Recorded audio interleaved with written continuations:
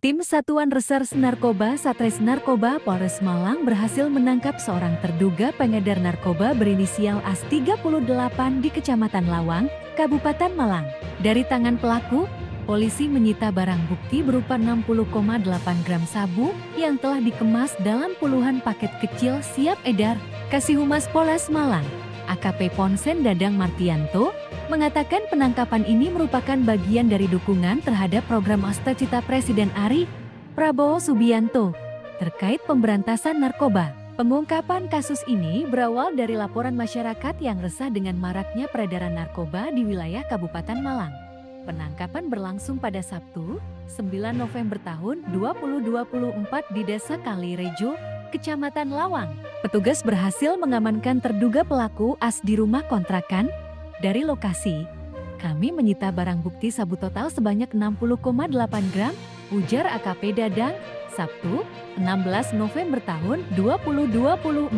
Kasih Humas menambahkan, dalam operasi tersebut, petugas menemukan 65 paket sabu yang dibungkus plastik klip transparan yang dikenal sebagai paket hemat atau supra. Selain itu, turut diamankan peralatan pendukung seperti timbangan digital, pipet kaca, ratusan plastik klip kosong, serta satu unit telepon seluler yang digunakan tersangka untuk berkomunikasi dengan pembelinya. Petugas juga menyita alat hisap sabu yang diduga digunakan AS untuk konsumsi pribadi.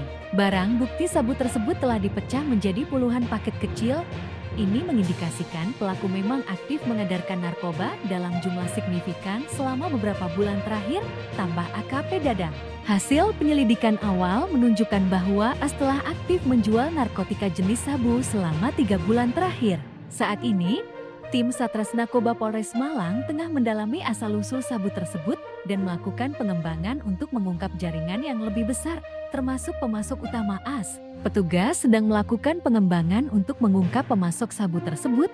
Proses penyelidikan masih berlangsung, tambah AKP Dadang. Askini telah diamankan di Mapolres Malang bersama barang bukti untuk proses hukum lebih lanjut. Ia dijerat dengan pasal 114 ayat 2 subseder pasal 112 ayat 2 Undang-Undang RI nomor 35 tahun 2009 tentang narkotika, Ancaman hukuman bagi As adalah penjara paling singkat 5 tahun dan paling lama 12 tahun.